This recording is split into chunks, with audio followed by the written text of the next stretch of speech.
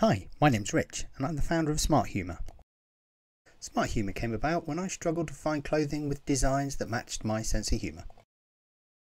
I preferred designs that were funny, yet thought provoking and clever. But I couldn't find any, so I made my own. After wearing a number of my designs in public and getting inquiries from passers by, I decided to make them available online, and so Smart Humour was born.